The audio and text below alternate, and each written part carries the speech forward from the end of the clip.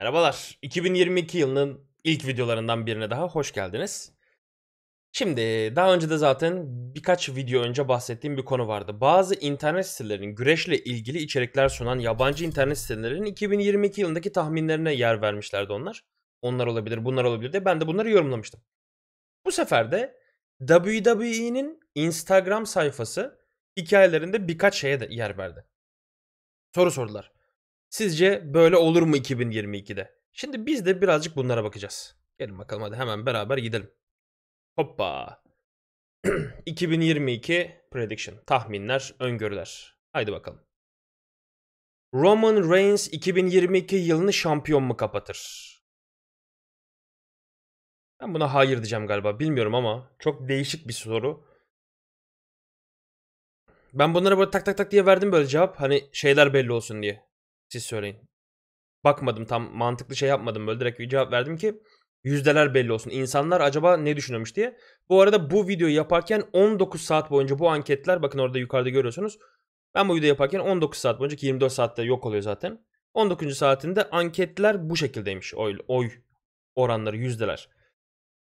2022 yılını şampiyon mu kapatır Roman Reigns? Ben sanki hayır diyeceğim. Bir önceki videoda birazcık bahsettik bunlar ama çünkü çok inanılmaz bir şey olur. Yani Roman Reigns'in 2022 yılını şampiyon kapatması demek 850 809 gün arası bir şey. Şu an tam kaç gün olduğunu için hatırlamıyorum.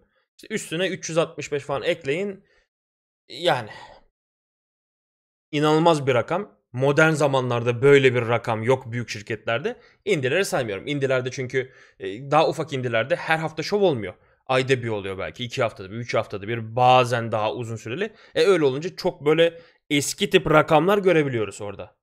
Yani işte 5 sene boyunca şampiyonmuş falan gibi. Ama WWE gibi ya da AEW gibi böyle her hafta program çıkaran, her hafta içerik yapan e, promotionlarda, şirketlerde böyle şeyleri görmek inanılmaz günümüzde. Eskiden tamam 30 yıl önce, 35 yıl önce falan daha farklıydı. Günümüzde çok çok çok daha ayrı bir noktada. O yüzden Roman Reigns'in eğer 2022 yılında şampiyon kapatması gibi bir durum söz konusu olursa üf.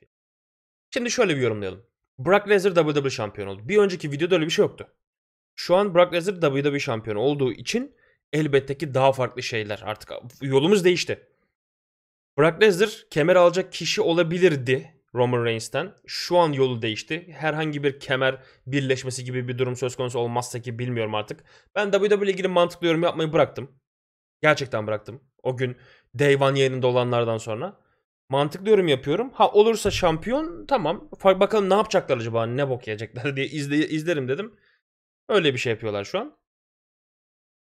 Brock Lesnar'la Roman Reigns'in yolu kesişmeyecekse şu an SmackDown'da bakıyorum Roman Reigns'e rakip olacak kim var abi? Drew McIntyre.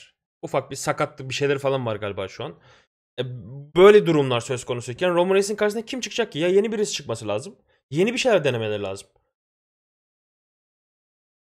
şu anki haliyle SmackDown'da haline bakarsan, Roman'ın tipine haline bakarsan tipi derken şey hani güreşçi tipine bakarsan şu anki inanılmaz dominant bir tip çünkü. Yani kapatır gibi de geliyor. Ama bana kalsa sanki 2022 yılında bir şey değişecek gibi ya. Yani o kadar da uzun yaparlar mı ki ben bunu yine lafımı yemiş biriyim. Çünkü ben SummerSlam'e doğru falan herhalde artık verirler falan diyordum. Yok. Yani verirler şey ama Cena verirler değil. Oraya doğru kim yani biri gelir bir şey olur falan artık kemeri düşürür herhalde diyordum. Belli ki WWE hani ben 5 yıl bir ara verdiğim dönem vardı ya. Belli ki o 5 yılda bir şeyleri değiştirmiş. Roman Reigns'e de başka bir şeyler çizme peşinde. Bilmiyorum ben yine no diyeceğim ama siz, sizin fikrinizi merak ettim. Yani yazın bakalım aşağı. 2022 yılında sizce Roman Reigns şampiyon mu kapatır? İkinciye geldik.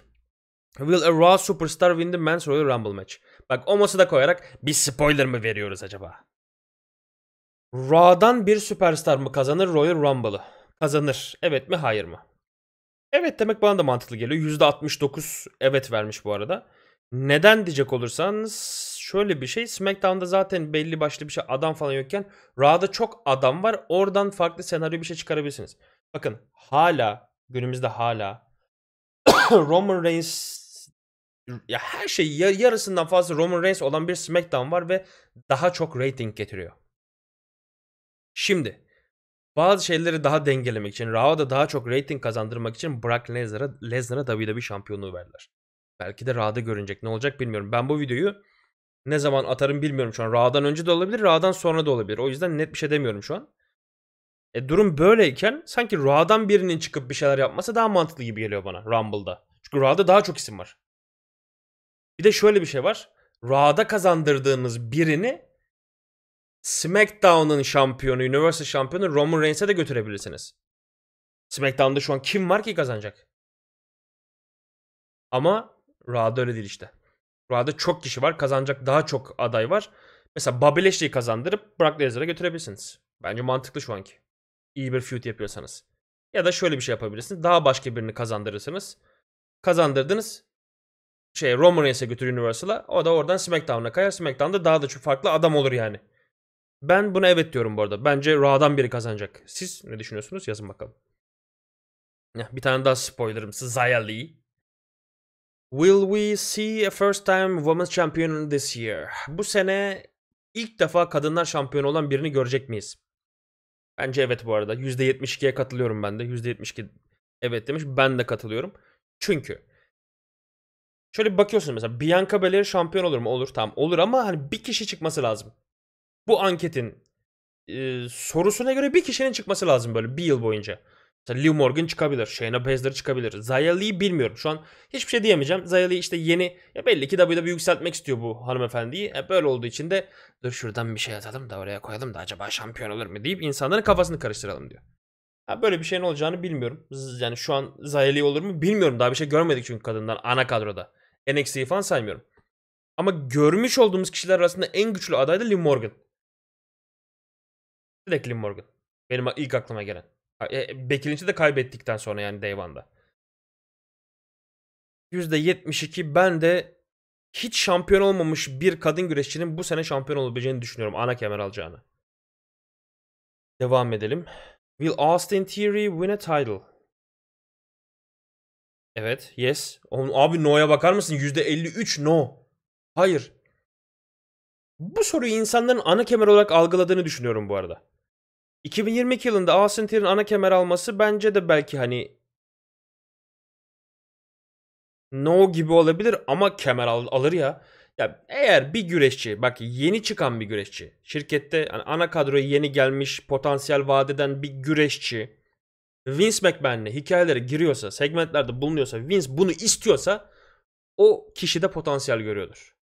Herkes de tık tık yani bak herkes de görünebilir segmentlerde ama böyle her hafta görünmez. Austin Theory'e belli ki bir yatırım yapacak. Bence kesinlikle şampiyon olması gereken biri. Ana kemer alması gereken biri demiyorum şu an. Daha erken.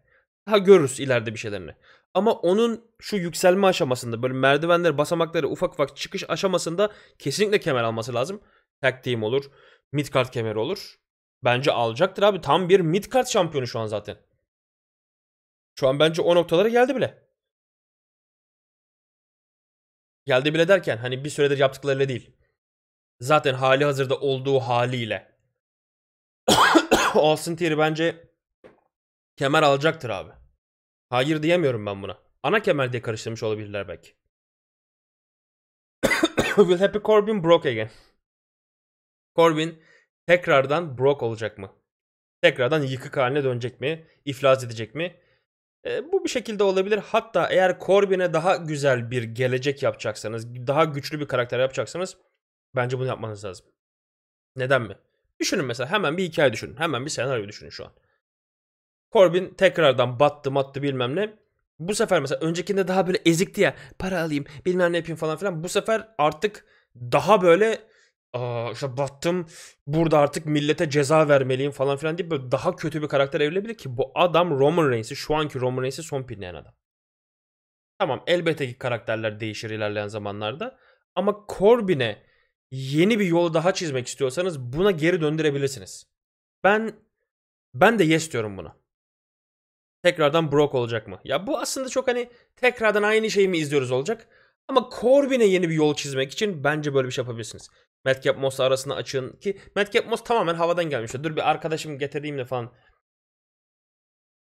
Bilmiyorum. Sanki Brock olsa biraz daha farklı olabilir. Devam ettik. Will a SmackDown Superstar win a woman's Money in the Bank? Money in the Bank'i SmackDown'dan bir kadın kazanacak. Kadınlar Money in the Bank'i. Bak hemen Naomi'yi de koymuşlar oraya. Yes %79'muş bu arada. Ben de 79'a katılıyor gibiyim. Çünkü Raw'da baktığınız zaman yani şimdi şampiyonlara bakar mısın? Şimdi şampiyon Money in the Bank kazanabilecek yüksek böyle büyük potansiyelli birileri. Rhea Ripley, ne bileyim Bianca Belair mesela yani. Liv Morgan. Daha bir sürü isim sayabilirsiniz. Ama SmackDown'da biraz daha sanki eksik gibi bu. İşte o yüzden ve SmackDown'ın şampiyonu da Charlotte Flair'ken Charlotte Flair'in ben bir süre daha taşıyacağını düşünüyorum. Yani nasıl Roman Reigns'te belli bir noktalarda devam ediyor böyle çok beklentimiz üstü, üstüne çıktı süresi. Charlotte'a da ben aynı şeyi bekliyorum. Ve bu süre zarfında da sanki SmackDown'dan birinin kazanıp ona keşin yapması daha mantıklı gibi geliyor bana. Bence böyle olması lazım. Bence bunu yapın hatta. Ama kim kazanır? Şu an bilemem neyin olacağını. SmackDown'dan birinin kadınlar Money in the Bank maçını kazanması daha muhtemel gibi geliyor bana. Yani bitti tamam bu kadarmış. Sizin fikirlerinizi merak ediyorum. Buna ben evet dedim. Bence SmackDown'dan biri kazanacak. Buna tekrardan evet dedim. Happy Corbin Brock moduna dönebilir mi tekrardan? Yıkık moduna işte iflas etmiş, batmış moduna dönebilir mi? Bu çok ilginç bir şekilde ben çoğunluğun dışında düşünüyorum. Bence Austin Theory 2022 yılında şampiyonluk görecek. Ben öyle düşünüyorum. Hat ya ben bir Booker olsam isterim ama dediğim gibi ben artık böyle WWE'de mantık falan bir şey aramayı bıraktım yani. Ya bıraktım değil. Ben yıllarca hep böyle man mantığımı kullanarak yaptığım incelemeler artık 12-13 senedir yaptığım işte içeriklerle eskiden 5 yıllık arama olmasına rağmen daha çok mantığımı kullanarak bazı tahminlerde bulundum, incelemeleri falan yaptım. Çoğunda da bu şekilde başarılı oldum. Ama şimdi WWE zaten bazen insanları şaşırtacak boyutta şeyler yapıyor ama mesela Lesnar'ın birden gelip WWE şampiyon olması çok sıra dışı bir şeydi. Kazanır mı kazanır, güçlü mü güçlü zaten. Çok değişikti ama yani. Hani mantıken olmaması gereken bir şeydi. O yüzden her zaman bu mantığı hani 10 düşünüyorsam 9'a düşeceğim. Şey değil, mantıklı düşünmeyeceğim artık. Yarısını bırakıyorum falan değil. Mantığımı bir tık daha aşağı indirdim şu an. Haberiniz olsun.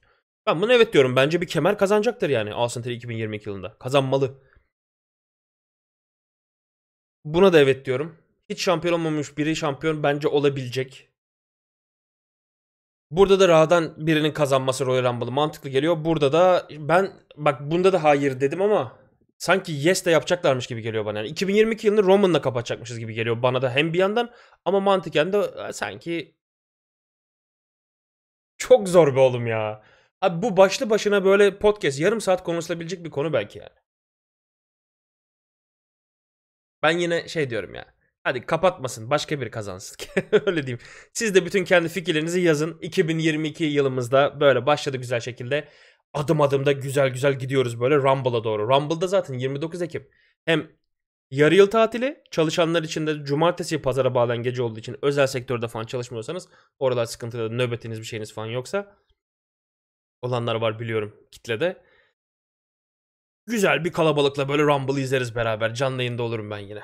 Görüşmek dileğiyle. Kendinize çok iyi bakın. 2022'niz çok güzel geçsin.